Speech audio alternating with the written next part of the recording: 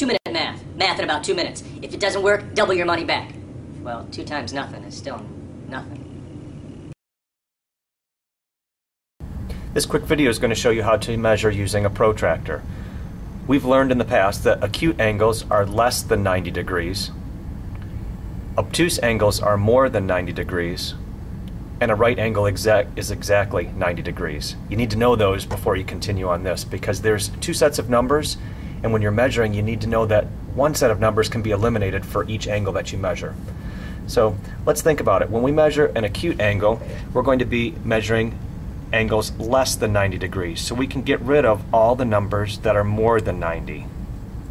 And I've just blacked out the numbers that are more than 90 on that. So we're going to be using all the numbers that are less than 90. I'm lining up my protractor, placing the triangle in the vertex. The vertex is where the two rays meet, right at the uh, base of the angle. I need to make sure that the bottom line is lined up on the zero degree mark, and then I'm going to read the line that comes up from that angle and where it crosses on the protractor. You can see here it's crossing right over the 30 degree mark, and I've eliminated the larger numbers because this is an acute angle, one that's less than 90 degrees. So I can eliminate all those other numbers. You can see what happens, how my angle looks like it gets bigger if I don't put that bottom line right on the protractor. So keep that bottom line right on the protractor, right at the zero mark, and you'll get the correct angle. I'm ready now to go ahead and measure some obtuse angles. Obtuse angles mean that we're not going to use any of the numbers less than 90 degrees.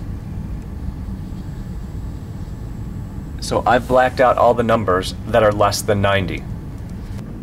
I'm now getting ready to measure the Auburn Hills obtuse angle with my protractor that has all the numbers less than 90 blackened out. So as I place the protractor onto the angle, I make sure that the triangle is placed into the vertex of the angle, and I'm lining that bottom line right up along the zero degree mark.